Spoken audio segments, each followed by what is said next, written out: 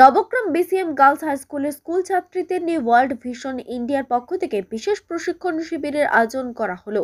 এই প্রশিক্ষণের মাধ্যমে ছাত্রীরা তাদের নিজস্ব অধিকার, আইনি সহায়তা, শিশু নির্যাতন, শিশু শ্রম, বাল্যবিবাহ, নারী নির্যাতন সহ বর্তমান সময়ে সোশ্যাল মিডিয়া থেকে নিজেকে সতর্ক থাকা নিয়ে বিশেষ পরামর্শ ও প্রশিক্ষণ দেওয়া হলো। এই প্রশিক্ষণ শিবিরে উপস্থিত ছিলেন advocate Pritha Ray Nabagram BCM girls high স্কুলের প্রধান শিক্ষিকা রাখি দাস সহ সমস্ত শিক্ষিকা। World vision India staff Narendra Nayak. Abhijit মণ্ডলের রিপোর্ট এনটিভি ডব্লিউপি আজকের বিশেষ মূল বিষয়টা ছিল, এটা হচ্ছে একটা ওয়ার্ল্ড লেভেল ক্যাম্পেইন বাচ্চা, যে বাচ্চারা কীভাবে নিজের জীবনটাকে উপভোগ করবে? দুষ্ট মানুষগুলো একটু খারাপ দৃষ্টি দিয়ে বাচ্চাগুলোকে বিভিন্ন ধরনের শোষণ নির্যাতন অত্যাচার যেটা করছে তার মূল কারণটা কি? তার প্রতিকারটা কি? গভর্নমেন্ট এটাকে বন্ধ করার জন্য কী কী নিয়ম প্রচলন করেছে? সে- সেই নিয়মগুলো কীভাবে ঠিকভাবে পালন করা হবে সেটা ছিল মূল বিষয় আর। কতটা রেসপন্স পেলেন আপনি বাচ্চাদের কাছ থেকে?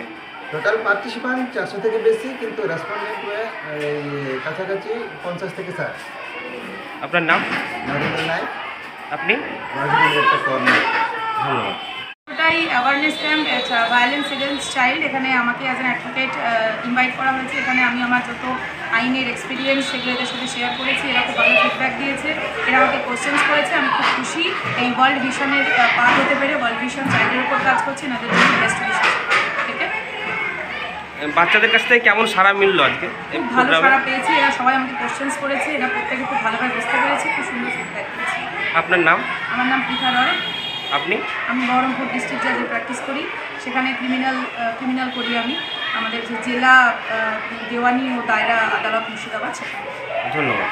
স্কুলে প্রশিক্ষণ শিবির যেটা হলো সেটা অবশ্যই আমাদের ভীষণভাবে উপকার হয়েছে। আমরা অনেক কিছুই থেকে শিখতে পেরেছি।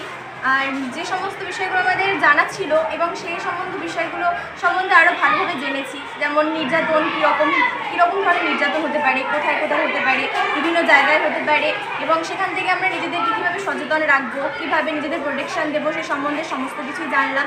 অবশ্য এই এটা যে ওয়ার্ল্ড ভিশন নিজে থেকে আমাদের স্কুলে যে প্রোগ্রামটা অনুষ্ঠিত করলেন তো ওয়ার্ল্ড ভিশন একটা শিশুপ্রেমী অর্গানাইজেশন যেটা সব আমাদের স্কুলে যে যে অর্গানাইজেশনটা মানে করলে সেটা থেকে আমরা অনেক কিছু শিখতে পারলাম জানতে পারলাম। তার জন্য ওয়ার্ল্ড ভিশনকে অনেক অনেক ধন্যবাদ জানাচ্ছি। আর ম্যামরা যারা আমাদের অনুমতি দিয়েছেন ম্যামদেরকে অনেক অনেক ধন্যবাদ। তোমার নাম?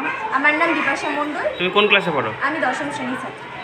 স্কুলে এই সচেতনতার শিবির হয়েছে। আমি স্কুলের ছাত্রী হিসেবে খুবই গর্বিত। এবং ওয়ার্ল্ড ভিশনকে এবং আমাদের টিচারদেরকে আমি ধন্যবাদ জানাই আমাদের স্কুলে এই শিবিরটি অনুষ্ঠিত করার জন্য। আমরা অনেকেই জানতাম এই সচেতনতা সম্পর্কে, সেগুলি সম্পর্কে আমরা আরেকটু ডিটেলসে জেনেছি। আবার অনেকেই এই সম্পর্কে অনেক কিছু জানতাম না, সেটাও আমরা জেনেছি। অ্যাডভোকেট ম্যাম এবং অনেকে ওয়ার্ল্ড ভিশন শিশুপ্রেমী একটি একটি সংস্থা, তারা আমাদেরকে শিখিয়েছে কীভাবে প্রতিবাদ করতে হয় নির্যাতনের বা ভায়োলেন্সের বিরুদ্ধে। আমাদের প্রত্যেকেরই সেটা করা উচিত। কখনোই ভায়োলেন্স নিজের মধ্যে চেপে রাখা উচিত নয়। অনেকে ভয়ে চেপে রাখে যে আমার কাছের একজন ব্যক্তি। তার ব্যাপারে আমি বলব কেউ বিশ্বাস করবে সেটা? সেটা কখনোই উচিত না। তাদের প্যারেন্টসদেরকে সবসময় বলা উচিত। ধন্যবাদ। তোমার নাম? আমার নাম ওয়েন্দিলা তুমি কোন ক্লাসে পড়ো? আমি নবগ্রাম বিসিএম গার্লস হাই স্কুলের নবম শ্রেণির ছাত্রী। ধন্যবাদ। স্কুলে যে সচেতনতা শিবিরটা আজকে অনুষ্ঠিত হলো। সেটা প্রথমত তো আমি যারা অনুষ্ঠিত করেছে ওয়ার্ড তাদেরকে নিজের হৃদয় থেকে আমি আন্তরিক থেকে শুভেচ্ছা মানে নিজের হৃদয়টা শুভেচ্ছা জানাতে চাইছি। খুবই ভালো হলো এটা আমাদের জন্য যে আমরা যেসব জিনিসের সঙ্গে অপরিচিত ছিলাম, আমাদেরকে প্রতিবাদ করতে হবে সেটা জানতাম। কিন্তু কোন কোন ক্ষেত্রে আমাদের ভাইরাস হতে পারে, কোন কোন ক্ষেত্রে আমাদেরকে প্রতিবাদ করতে হবে সেটা আমরা অপরিচিত ছিলাম তো তারা অ্যাডভোকেট ম্যাম আমাদেরকে খুব সুন্দর করে এটা বিষয় বোঝালেন এবং একজন মেয়ে হয়ে শুধু মেয়ে না, ছেলেদের পক্ষে প্রত্যেকটা শিশুর জন্য যেসবগুলো এখন বর্তমান পরিস্থিতিতে দাঁড়িয়ে আমরা দেখতে পাচ্ছি খবরের কাগজে হোক জায়গাতে দেখতে পাচ্ছে যে শিশুদের প্রতি কতটা অত্যাচার করা হচ্ছে। তো সেই সব জিনিসে আমাদের কিছু প্রতিবাদ করতে হবে। মা বাবা যদি কোনো ভুল কাজ করে থাকে, তাহলে সেটার বিরুদ্ধে প্রতিবাদ করতে হবে। আর সব কিছু আমাদেরকে শেয়ার করতে হবে মা বাবার সাথে যে ধামা চাপা দিয়ে রাখা উচিত না, কারণ সেটাতে আমাদের মানসিক নিজের দুশ্চিন্তা হতে লাগে, পড়াশোনাতে মন বসবে না। এবং তার জন্য আস্তে আস্তে আমাদের মানসিক দুশ্চিন্তায় ভোগ করব। এবং তার জন্য প্রথমত তো মা বাবার সাথে আমাদেরকে শেয়ার করতে হয় বিষয়টা যে আমাদের সমস্যা হচ্ছে এবং সেটা মা বাবাকে জানিয়ে যাতে আমাদের সমস্যাটা সমাধান করা হোক। তো প্রথম প্রতিবাদ করতে তো আমাদের করতে হবে। আস্তে আস্তে ম্যাম আমাদেরকে অনেক কিছু বললেন এবং তার জন্য আমরা খুবই উপকৃত হয়েছি থ্যাংক ইউ ওয়ার্ল্ড আমাদেরকে এতটা সাহায্য করার জন্য। তোমার নাম? আমার নাম অর্ণাকার। আমি বিশ্বম গার্লস হাই স্কুলের দশম শ্রেণির ছাত্র। ধন্যবাদ।